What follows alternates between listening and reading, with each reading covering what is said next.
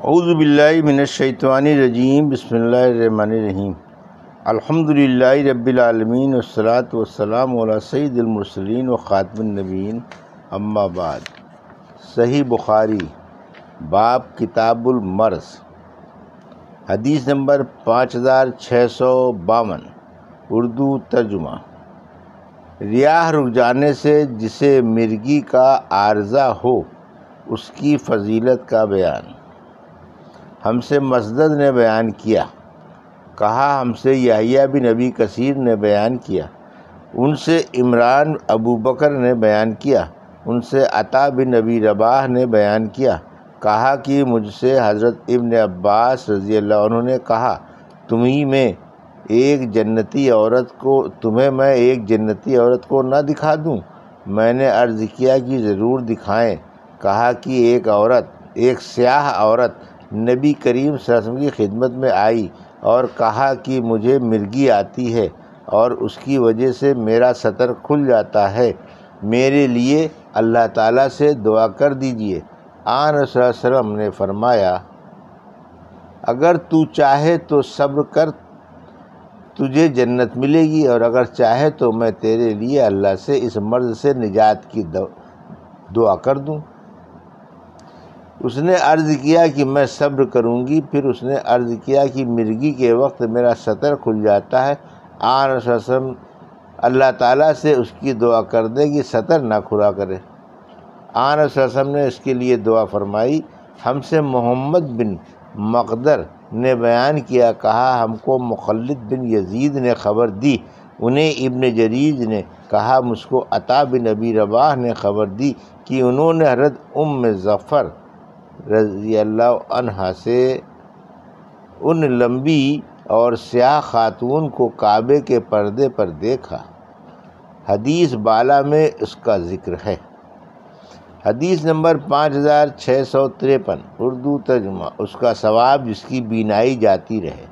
हमसे अब्दुल्ला बिन यूसुफ तनेसी ने बयान किया। कहा, हमसे लेस बिन साद ने बयान किया।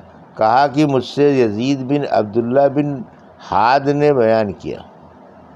उनसे मतलब उनसे मुतलब बिन अब्दुल्ला बिन हजब, जज्ब के ग़ुलाम उमरू ने और उनसे हरत अनस बिन मालिक रज़ी अल्लाह ने बयान किया कि मैंने रसूलुल्लाह वसल्लम से सुना, आप सरसम ने फरमाया कि अल्लाह ताला का इरशाद है कि जब मैं अपने किसी बंदे को उसके दो महबूब आज़ा आँखों के बारे में आज़माता हूँ यानी नाबीना कर देता हूँ और वो उस पर सब्र करता है तो उसके बदले में उसे जन्नत देता हूँ।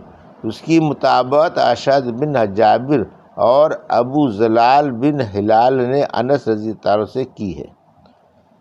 हदीस नंबर पाँच हज़ार छः सौ चौवन, उर्दू तर्जुमा। औरतें मर्दों की बीमारी में पूछने के लिए जा सकती हैं। हज़रत उम दरदा रज़ी अल्लाह मस्जिद वालों में से एक अंसारी की अयादत को आई थी। हमसे कनीबा ने बयान किया, उनसे इमाम मालिक ने, उनसे हशाम बिन अरवा ने, उनसे उनके वालिद ने और उनसे आयशा रज़ी अल्लाह ने बयान किया कि जब रसूलुल्लाह वसल्लम हिजरत करके मदीने तशरीफ़ लाए तो अबू बकर रज़ी अल्लाह और बिलाल रजा को बुखार हो गया। बयान किया कि फिर मैं उनके पास अयादत के लिए गई और पूछा, मोहतरम वालिद, बुज़ुर्गवार आपका मिजाज कैसा है? बिलाल रजा से भी पूछा कि आपका क्या हाल है? बयान किया कि जब हज़रत अबू बकर रज़ी अल्लाह को बुखार हुआ तो वो ये शेर पढ़ा करते थे हर शख्स अपने घर वालों में सुबह करता है और मौत उसके तस्मे से भी ज़्यादा करीब है। और बिलाल को जब अफाका होता तो ये शेर पढ़ते थे, काश मुझे मालूम होता है कि क्या मैं फिर एक रात वादी में गुजार सकूँगा और मेरे चारों तरफ़ अजखर और जलील, यानी मक्का मुकरमा की घास के जंगल होंगे। और क्या मैं कभी मजना मक्के से चंद मील के फासले पर एक बाज़ार के पानी पर उतरूँगा और क्या फिर कभी शामा और तुफ़ैल, यानी मक्के के करीब दो पहाड़ों को मैं अपने सामने देख सकूँगा?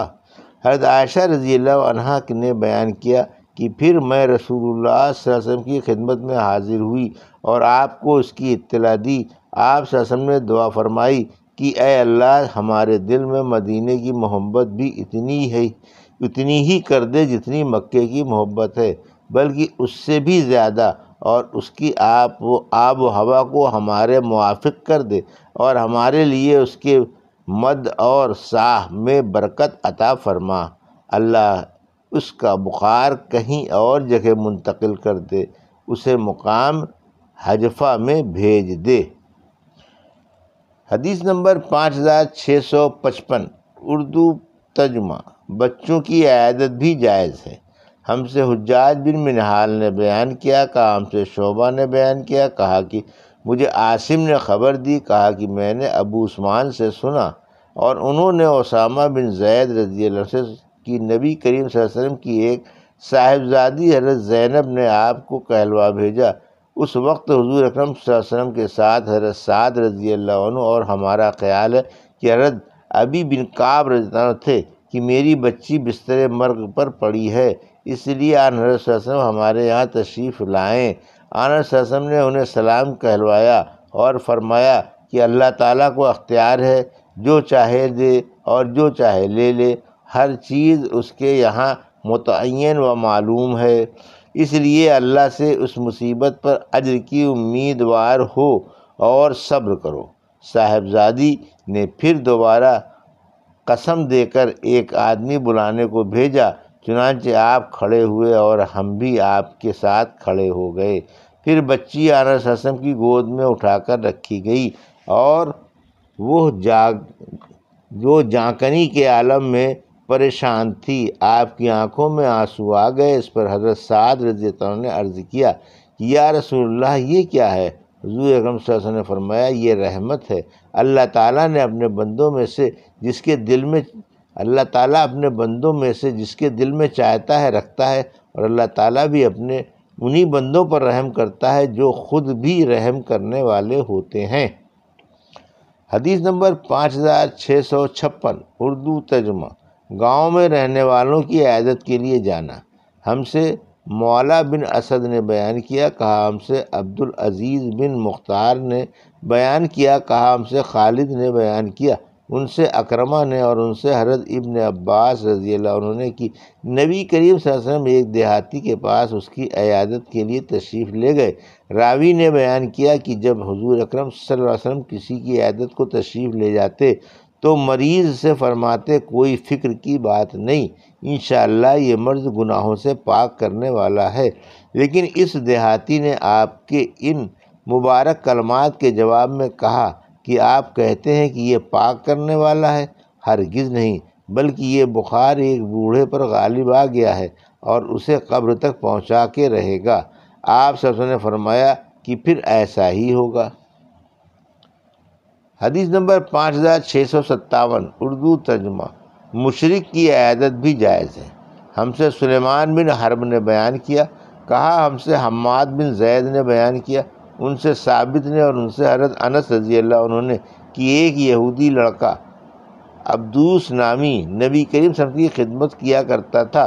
वो बीमार हुआ तो हजूर अक्रम अलैहि वसल्लम उसकी मिजाज पुरसी के लिए तशरीफ़ लाए। आनस असम ने फरमाया कि इस्लाम कबूल कर ले, चुनाचे उसने इस्लाम कबूल कर लिया। और सईद बिन मसैब ने बयान किया कि अपने वालिद से कि जब अबू तालिब की वफ़ात का वक्त करीब हुआ तो आन रसम उनके पास मिजाज पुरसी के लिए तशरीफ़ ले गए। ये थी सही बुखारी बाप किताबुलमर्ज़ की हदीस नंबर पाँच हज़ार छः सौ बावन से पाँच हज़ार छः सौ सत्तावन का उर्दू तर्जुमा जो अभी आपने समाज फरमाया। अल्लाह से दुआ है कि अल्लाह में हदीसों की सही समझ अता फरमा और इन पर अमल करने की तोफ़ी अता फरमा। आमीन या रब्बुल आलमीन।